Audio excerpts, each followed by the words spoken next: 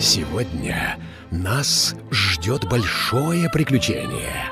Пришло время, чтобы перепрыгнуть через время. Поэтому смотрите, учитесь, действуйте. Как начало расскажу про жизнь.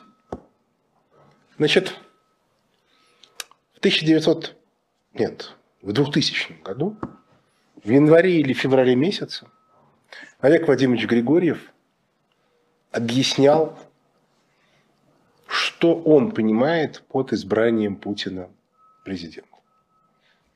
Обращаю внимание, это был январь или февраль до выборов. А выборы были в марте.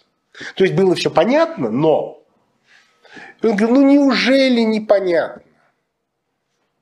Это же просто вот типовая история, описанная гениальном фильме «17 мгновений весны» первой серии. Путин – это Штирлиц, который стал фюрером.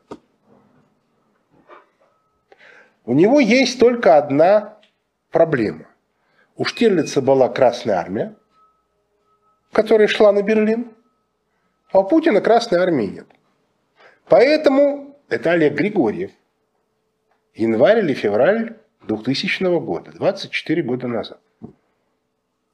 А, поэтому ему прежде всего надо вырастить Красную Армию, которая идет на Берлин. Вуаля!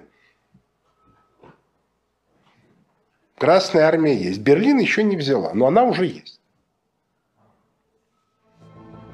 И всегда помните, когда дорога представляет собой загадку, попробуйте шагать на обум.